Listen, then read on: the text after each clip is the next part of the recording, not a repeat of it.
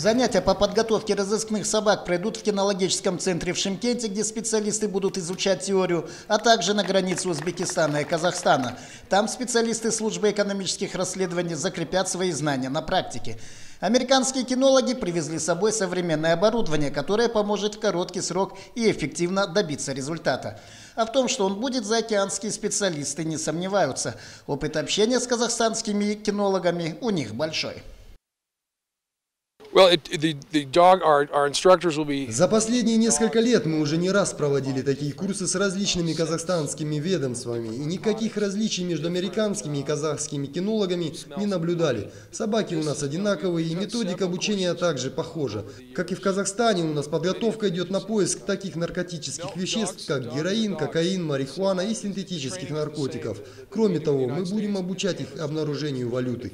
Гани Абдраманов – один из тех курсантов, кто пройдет курс обучения со своей питомицей Найзой. На их счету за последние годы пять фактов обнаружения наркотиков на узбекско-казахстанской границе и призовые места на республиканских и международных соревнованиях кинологов. Как говорит специалист, вопреки расхожему мнению, что все поисковые собаки присажены на наркотики, все результаты в поисках запрещенных веществ достигаются только постоянной тренировкой.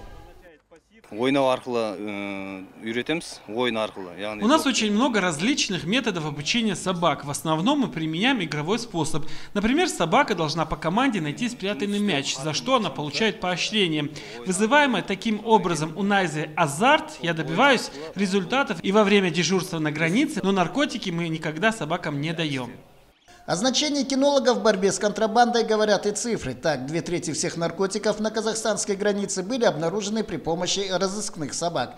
А появление именно в нашей области американских инструкторов не случайно.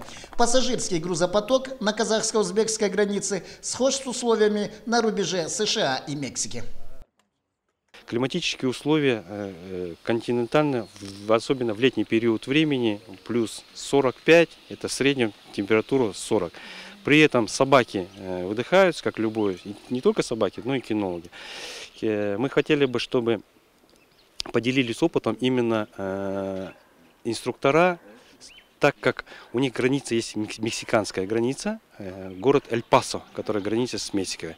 Грузопоток очень большой, по климатическим, по тоже приближенный к Южно-Казахстанской области.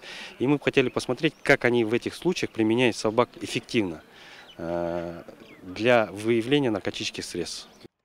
Курс обучения продлится в течение месяца. По его окончании заокеанские специалисты планируют подарить привезенное оборудование южно-казахстанским кинологам, несущим службу на казахстанско-узбекистанской границе.